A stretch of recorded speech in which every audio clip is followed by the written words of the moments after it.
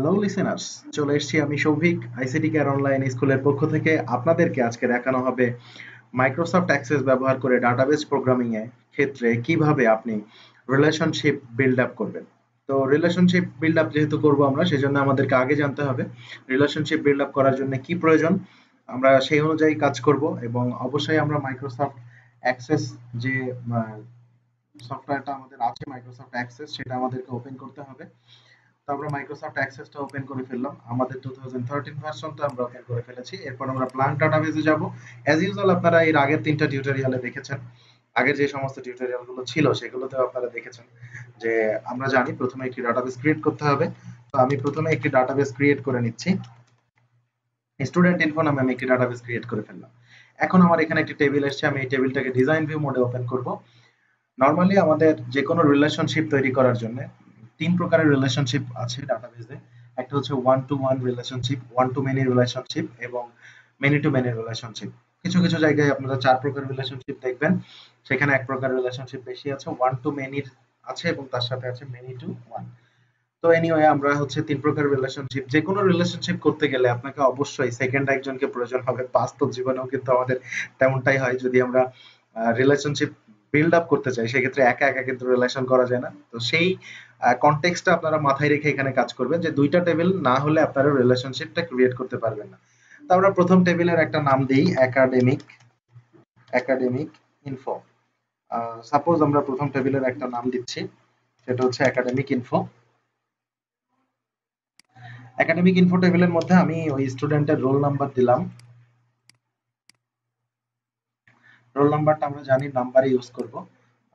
এরপরে হচ্ছে একাডেমিক ইনফোতে ওর নাম আমি দিলাম। এই যে আমাকে ফিল্ডটা ফিল আপ করতে বলা হচ্ছে হ্যাঁ ফিল্ডটা ফিল আপ করেছি আমি।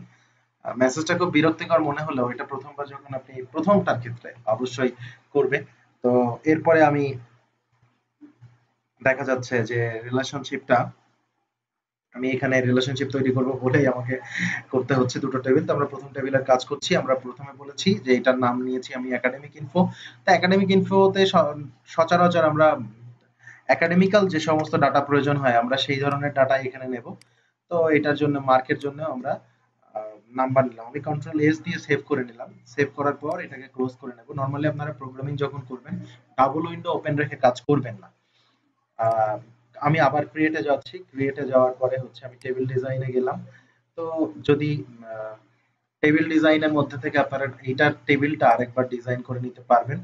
আর হচ্ছে আমি যদি শুধু টেবিলের উপরে যাই, তাহলে এখন দেখেন যে আমার নর্মাল আগের যে ভিউ ছিল, সেই অবস্থায় চলে এসেছে। তো আমরা এটার উপরেও রাইট বাটন ক্লিক করে ডিজাইন ভিউতে যাব।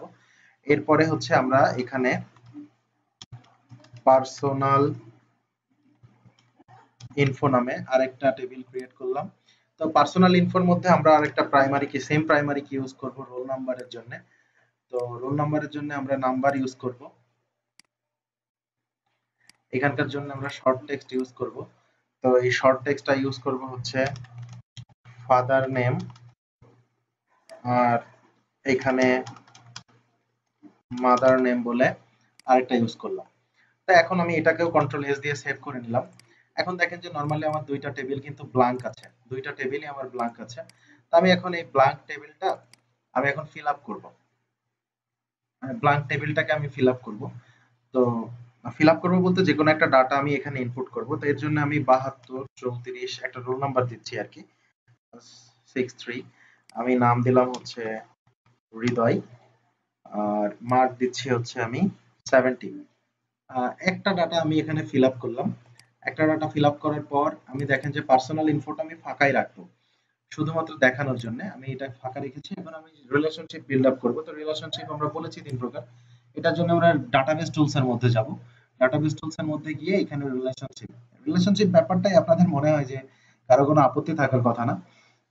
অ্যালার্জি নেই আর কি। তো এটা আশা করছি যে খুব ভালোভাবে আপনারা দেখবেন, যেহেতু রিলেশনের ব্যাপার স্যাপার যাই হোক তো এবারে আমরা হচ্ছে একাডেমিক ইনফো এখানে দেখেন যে যে টেবিলগুলো আছে, আমি এই টেবিলগুলো দুইটা টেবিল আলাদা আলাদা ভাবে অ্যাড করে নিলাম। নেওয়ার পরে আমি ক্লোজ করলাম। এখন আমার যেটা কাজ, সেটা হচ্ছে আমি যে টেবিলের সাথে যে টেবিলের রিলেশন করব। এখানে দেখেন একটা প্রাইমারি কি আছে রোল সেম প্রাইমারি কি একটা ডাটার সাথে আরেকটা ডাটা যদি সম্পর্ক করি, সেটা হচ্ছে ওয়ান টু ওয়ান রিলেশনশিপ আমি এটাকে টেনে ধরে আইকনটা যখন চেঞ্জ হয়েছে, তখন ছেড়ে দিচ্ছি। দিলে এই ডায়ালগ বক্সটা ওপেন হয়ে যাবে।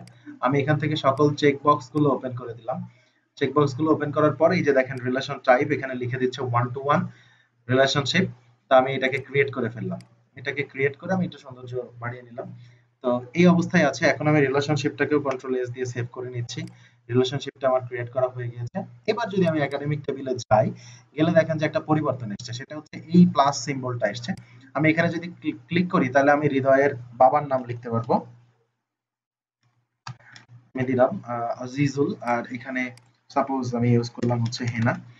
নাম, দেখেন যে আমি দুইটা ডাটা এখান থেকে এন্ট্রি করে ফেলতে পারলাম। মানে আমি একাডেমিক ইনফোতে আসলাম, আসলে কিন্তু আমি শুধু আমার একাডেমিক ইনফোটাই শো করতে পারছি। আবার যখন আমি পার্সোনাল ইনফোতে যাচ্ছি, তখন কিন্তু অটোমেটিক পার্সোনাল ইনফোতে ওগুলো শো করছে। এটা কি বোঝাচ্ছে? এটা মানে রিলেশনশিপ কেন করবেন? সুবিধাটা হচ্ছে যখন আমরা কোয়েরি করব, তখনও দেখব আরও সুবিধা। এখন পর্যন্ত যতটুকু জেনেছি, তাতে করে মানে এই টেবিলে টেবিল করা পর্যন্ত আপনারা যতটুকু জেনেছেন আর কি, তার মধ্যে দেখেন যে যে কোনো একটা টেবিল যদি আপনি ওপেন করেন, এই টেবিল থেকেই আপনি হৃদয়ের নাম roll number mark father name mother name প্রত্যেকটা ইনফরমেশন এক জায়গা থেকে আপনি পেয়ে যাচ্ছেন। তো এটাই হচ্ছে রিলেশনশিপের সুবিধা।